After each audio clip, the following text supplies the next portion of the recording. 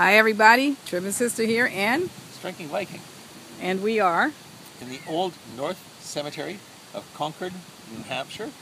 And there is the eternal resting place of Franklin Pierce, 14th President, President of the United States. I've never been to the uh, burial place of any of our presidents.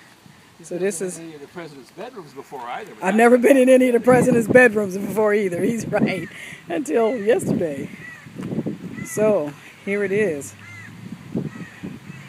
And we learned when we were at the Pierce Manse the other day that uh, Franklin and his wife and two of their children are buried here, but a third child They don't know where who that died child in is. infancy, either from typhoid fever or one Crib of those death. things which takes children off early.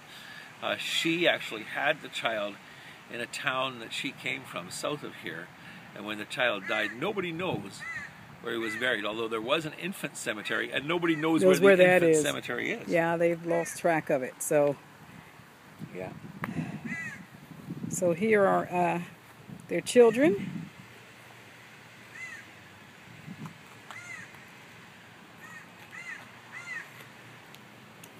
And we're told that the Pierce family is still quite large um, here in uh, New Hampshire. So, uh, you know, I guess the grand, the uh, not grandchildren, but you know, he had brothers and and all that, and they had kids. So, this is where they are. This is our 14th president. Isn't that something? I've never seen the such. You know, I've, oh, you know, I've seen it on television. Well, not even this one. I haven't even seen this one on television. But the very tall uh, monument, gravestone, grave marker. Um, this is the oldest cemetery in Concord.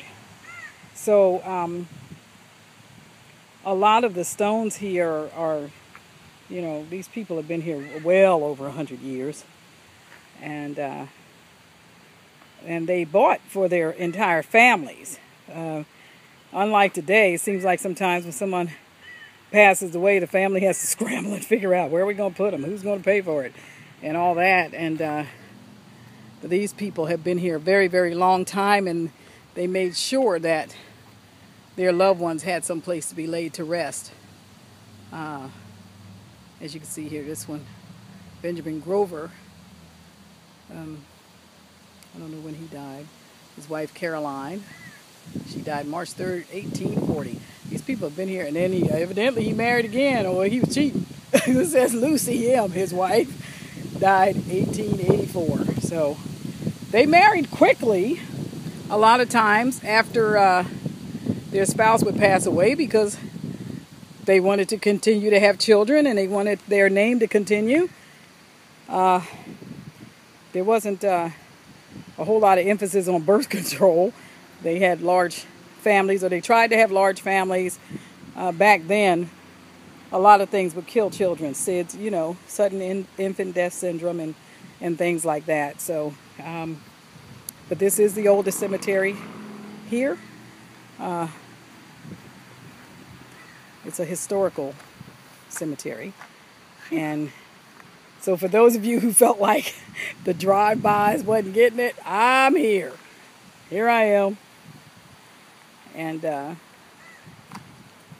it's warm. We've been out all day walking around gravestones and eating chicken. So, the chicken helped. Let me see where Mr. Viking's going over here. It's a weird way to spend your birthday, Mr. Viking, but here we are. I offered for us to go back to the rig. Is this a baby? This is the stone of an infant who died. The little carving of a baby at rest. Ella, Edward.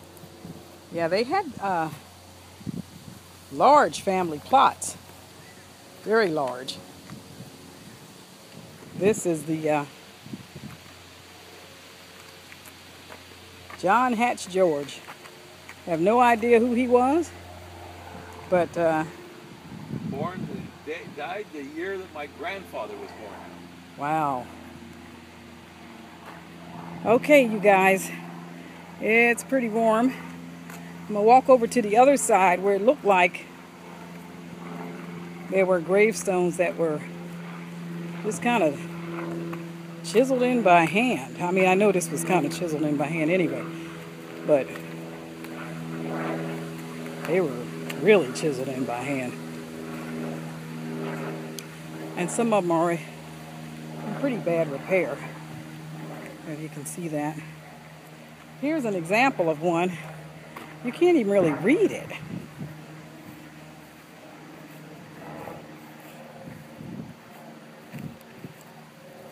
That's not too bad. That's looks like it was done with some type of an engraving tool. Uh, there are some that you have a hard time seeing. So, New Hampshire is considered the granite state, so I don't imagine it was hard for anybody to get a tombstone. Uh,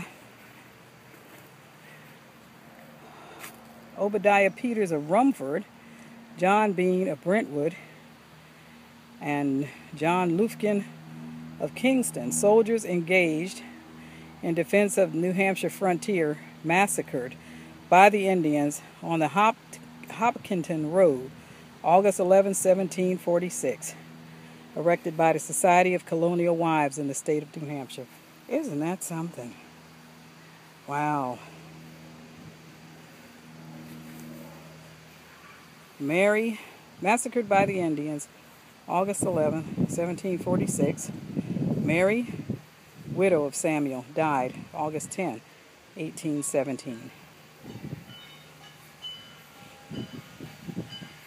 This is quite something. You can't even read this one. It's just, it's uh, rubbed out.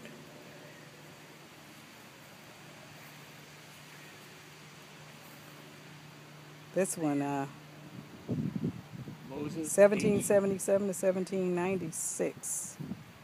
Wow. Moses H. Bradley Yes. died June 22nd, 1834.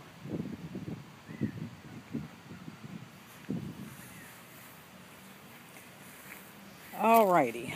My goodness. Yes, this is. I think this is probably the oldest Some old cemetery. dead folks in here. Yeah. well, I think they stopped aging a long time ago. Um, anyway, it's quite warm, so I just wanted to give you guys a little bit of a historical tour through one of the uh, nation's oldest cemeteries. And uh, I'm really not a morbid person. You know, when it comes to um, military campaigns and things like that, uh, I'm just, I don't know, I guess I'm just a soldier at heart. So, anyway, all right, you guys. Well, happy birthday, Mr. Viking. I did offer for us to leave. He didn't want to go. All right, you guys, keep chirping.